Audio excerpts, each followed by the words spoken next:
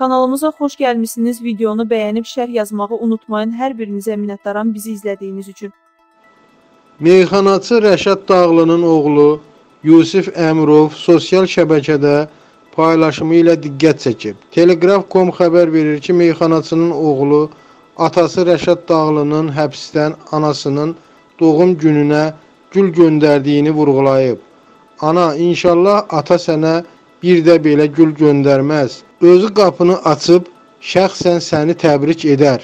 Qeyd edək ki, Rəşad Dağlı 14 bıçaq zərbəsi ilə qonşusu İskəndər Mehdiyevi qətlə yetirib.